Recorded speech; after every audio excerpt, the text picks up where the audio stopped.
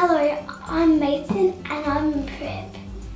My name is Emily. I am in year one. My name is Finn. I'm in year six. I've been at the Peninsula School for eight years. My name is Amelia. I'm in year five and I've been at the Peninsula School for a semester and one day.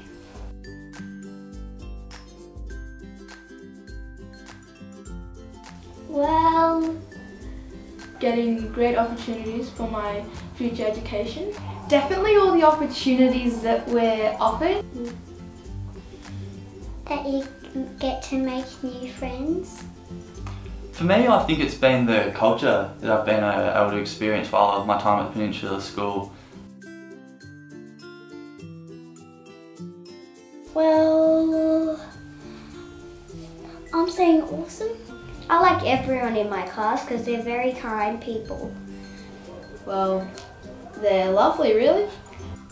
Very clever.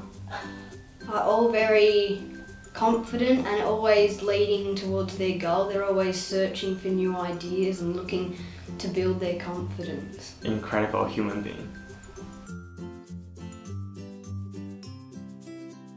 Like you're doing things to the best of your ability. Is just do the best you can and make you you can't make you perfect but as perfect as you can.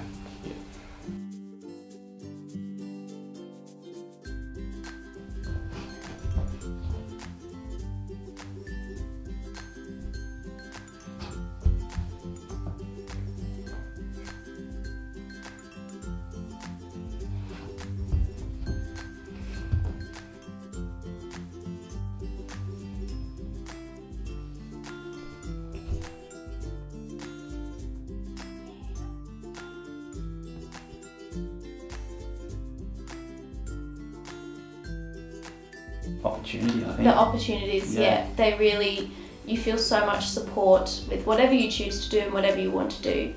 Um, and that really helps helps me grow as a person and become better to be my best to flourish kind of thing. And for me, it was structure and guidance was um, what the Peninsula School provided.